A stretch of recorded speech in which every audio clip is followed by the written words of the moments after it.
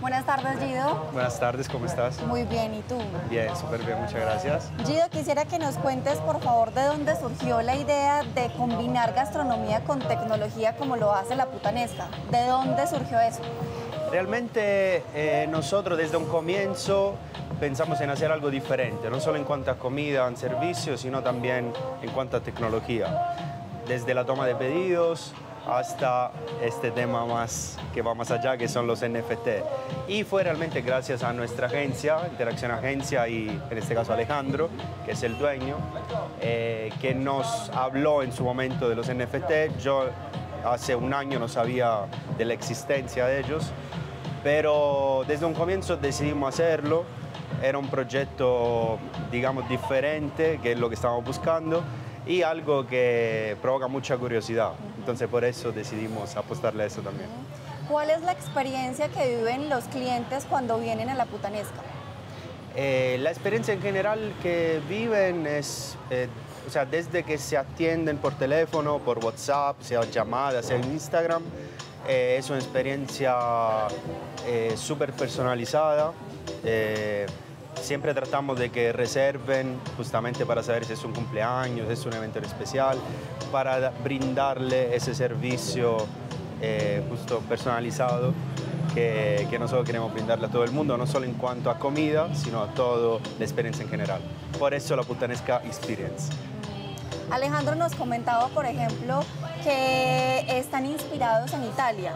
¿Cuál es la mayor fuente de inspiración en cuanto a la decoración, a la experiencia misma que se está viviendo? ¿De dónde traen como esa cultura? Eh, nosotros, bueno, yo soy eh, de Italia y eh, de Sicilia, de la región de Sicilia. Y esa cultura, bueno, esas cabecitas que tenemos, por ejemplo esta, te la muestro por acá. Esta es una leyenda, se llama la testa di moro. La cabeza que tenemos de la putanesca, el nombre mismo, todo vienen de allá. Y la cabeza como tal y estas leyendas vienen de Sicilia, o sea, de la parte donde yo nací. Eh, y nos inspira mucho porque muchas civilizaciones pasaron por ahí.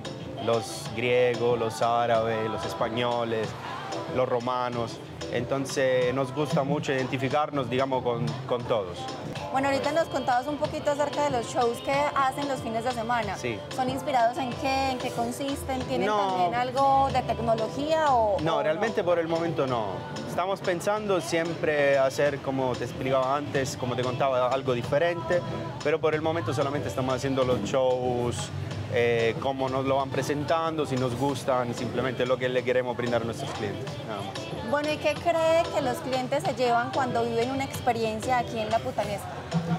Yo creo que se llevan algo, algo diferente, como te dije desde un comienzo, no solo en cuanto a la comida, sino al servicio, la experiencia en general, con los shows, con el humo del agua, no sé, que son cosas que uno puede pensar que son bobaditas, como dicen acá, pero realmente son cositas que llenan de, detalles eh, la experiencia en general. Bueno, muchísimas gracias. Tendremos que venir a probar. Claro que sí. Un placer. Muchas gracias.